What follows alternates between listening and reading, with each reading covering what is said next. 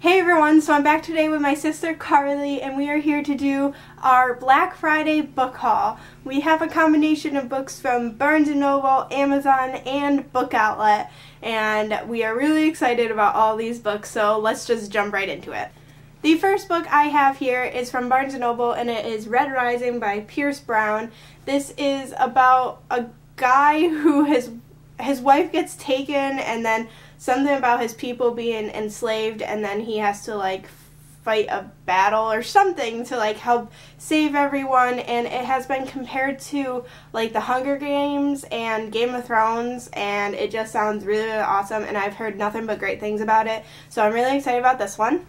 The next book I have here is also from Barnes & Noble and it is House of Leaves by Mark Z. Danielewski. I don't know how to oh. pronounce it. Um, I've been wanting this book for a really long time. I've heard really amazing things about it. I have heard that it's pretty hard to read though. I'm not really sure what it's about. Something about like a haunted house or something, but it's like about people's takes on it or whatever.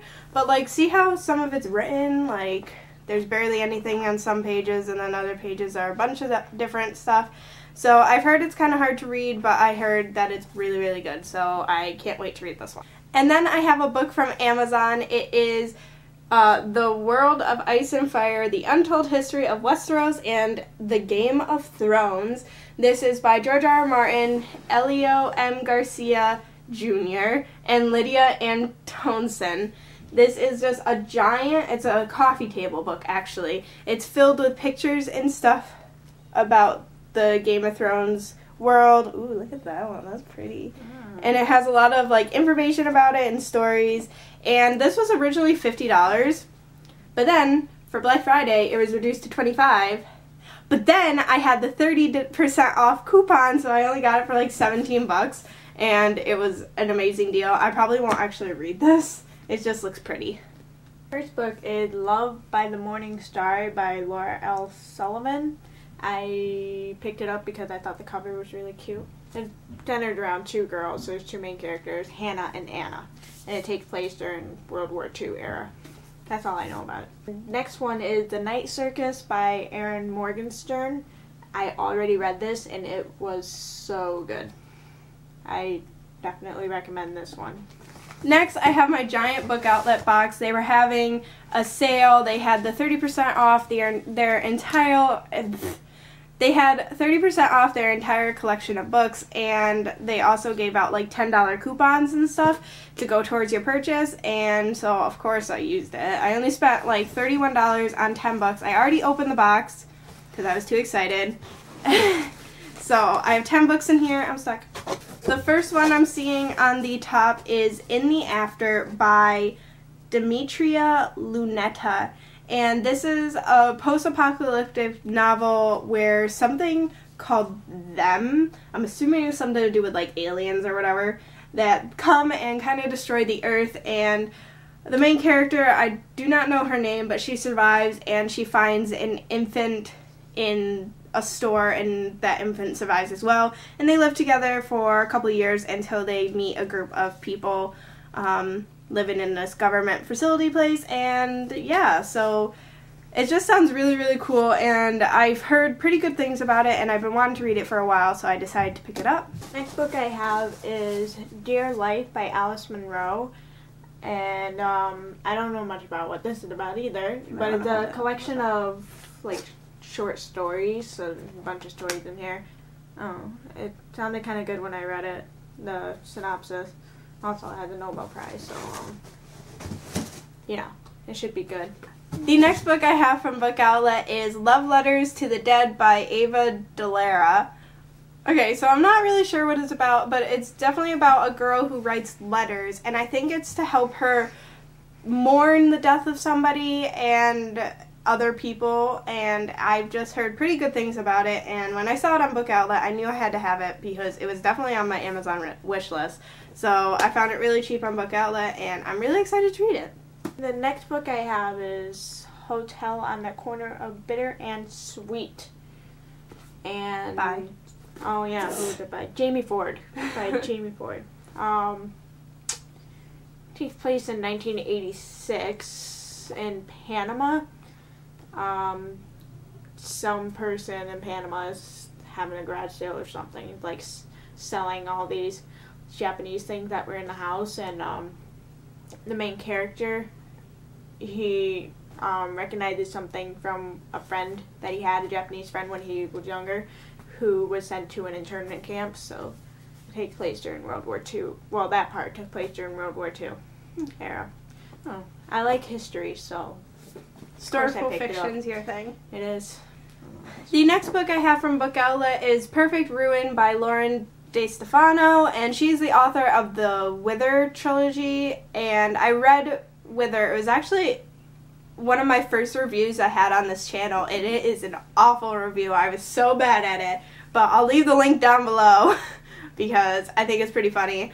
Um, yeah, so I definitely wanted to pick this up because I did enjoy Wither. I'm not sure what it's about, but the cover is gorgeous, so I knew I had to have it. Next book I have is The River of No Return by Bee Ridgway.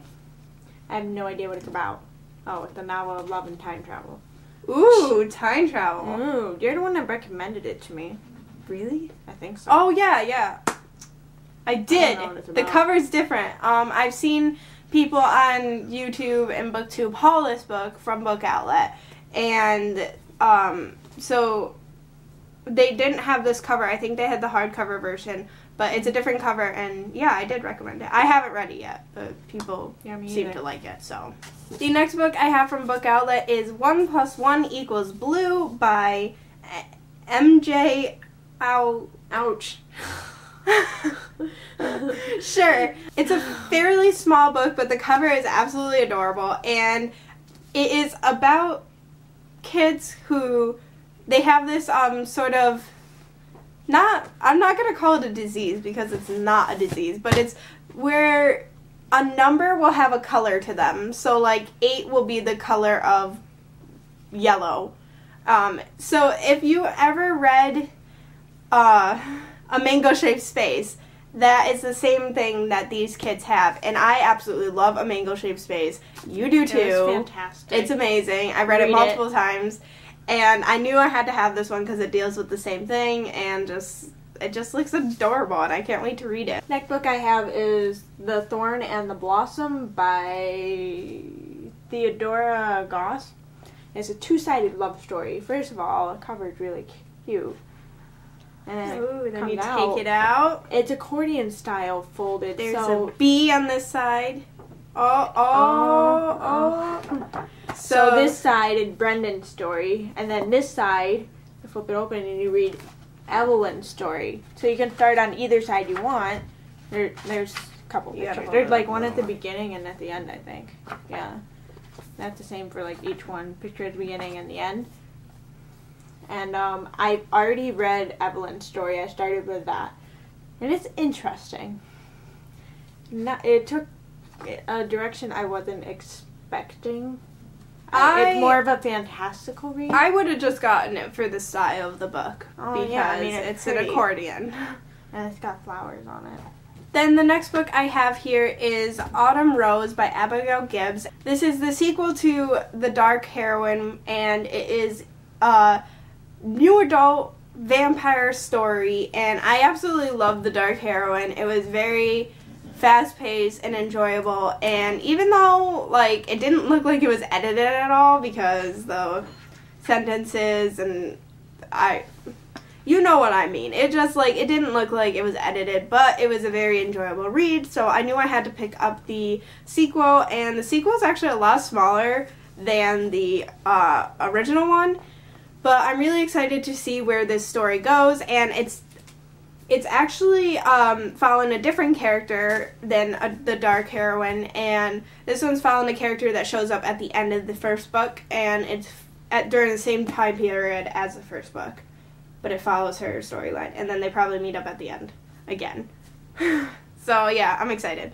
My next book is Never Fall Down by Patricia McCormick, the National Book Award finalist. Mm-hmm. This one is based on the true story of Arn Chorn-Pond. I don't know. Um, okay. um, but it takes place during um, in Cambodia when the killing fields are happening. So it's a story of this kid's survival. The last five books I have to show you are all part of a series, and they are part of the Chronicles of Nick series by Sherilyn Kenyon. So here they are. Wow.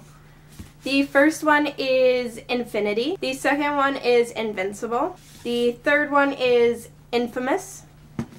They all start with I's. I found that awesome. The fourth one is. Inferno. And the fifth one is Illusion. And these, I think this series is supposed to be going on to like the 20th book or something. There's Twenty. yeah, apparently, like, I, I don't know. Do they I, have that many I words? I don't. My next book is In the Light of What We Know by Zia Haider. Rahman? Rahman. I don't know what it's about. But again, she recommended it to me. I was like, yeah, sure, I'll read it. Oh, just me. My last book, I got this from Walmart. And it's The Romanov Sisters by Helen Rappaport. She's Um, obsessed with the Romanov family. Yeah. That part of Russian history. Uh, maybe Russian history in general. Yeah. I read Nicholas and Alexandra by Robert K. Massie. I also read three quarters of Catherine the Great by Robert K. Massie. And again, these books are bigger than this. They're like 900 pages long. It's a lot of reading. And it's complete, it's, it's all history. There's no fiction. Yeah. So it's a lot to take in, but I really enjoyed Yeah. what I've read so far. And um, I specifically wanted to read about the Romanov sisters. Anastasia.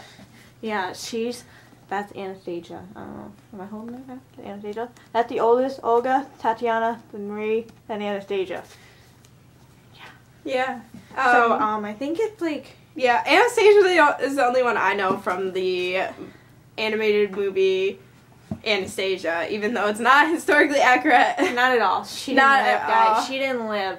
She fainted originally when um, the guard went down in the basement to kill everyone. She fainted, and then they went after her with bayonets.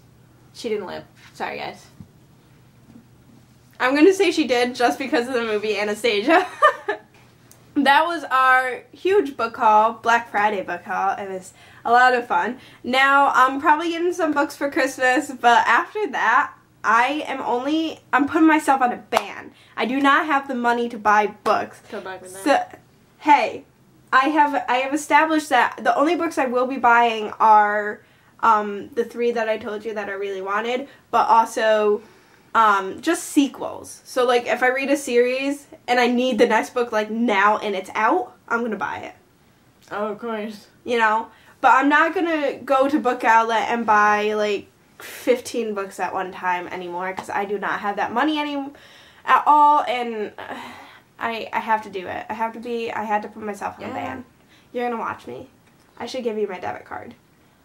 Probably not a good idea. So yeah, guys, I hope you all enjoyed it. Say bye, Carl. Yeah, I will see you all next time. See ya. The next book I have from Book Outlet is Love Letters to the Dead by Ava Delaria.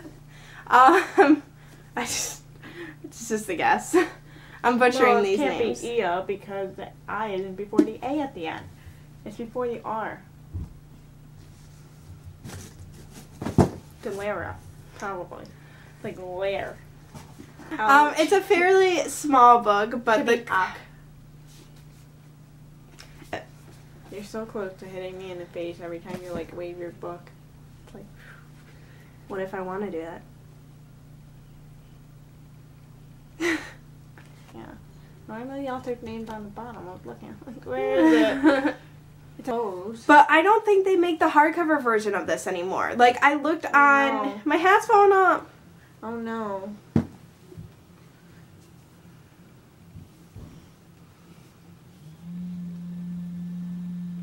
Better now. Yes. Rasputin was pretty creepy in that movie. He's creepy in real life. If you look at the pictures. Oh, my foot fell asleep.